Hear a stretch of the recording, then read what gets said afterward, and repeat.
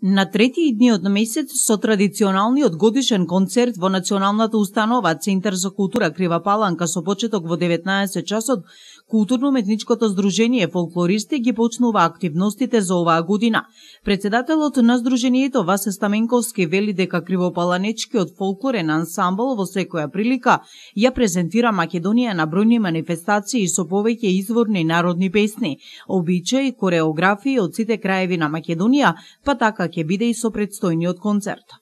Културно-мечко здружение фолклористи увеќе изненадува публиката, така да сега и пред вашата јавност се кажем да ќе изненади публиката, нема да ги кажеме новите кореографии, али ќе има секако. Планиравме да имаме гости, меѓутоа донес, донесновме одлука, пошто програмата е увек многу поголема од очекувано што треба, значи оваа година ќе идеме претежно на делегации ќе има значи од Куманово, од Бор, од Србија, од Бугарија, така да ќе има поети делегации. Стаменковски ги најави идните планови на фолклористи, а ќе настапат со ора и песни карактеристични за овој регион.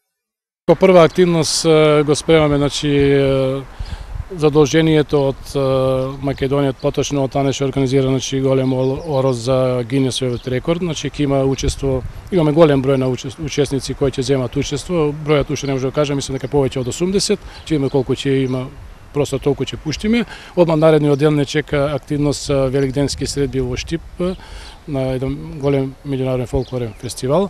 Така да продолжувам одма на 5 мај меѓународен фолклорен фестивал во Куманово, на 10 мај фолклорен фестивал Фантазија во Скопје, детски фестивал и наредниот фестивал, детски фестивал кој ќе се одржи во Радовиш на 8 јуни. Се со завршување на нашиот годишен концерт одма почнуваат активностите за надвор на меѓународните фолклорни фестивал надвор од Македонија. Така да првиот меѓународен фолклорен фестивал ќе биде во Бор кој ќе се одржи 29, 30, 31, 1 2 јуни месец. Младите фолклористи полни со енергија и ентузијазам секаде го даваат својот максимум и на официјалните настапи и дефилеа, а очекуваме дека во исто светло ќе ги видиме и на годишниот концерт идниот месец.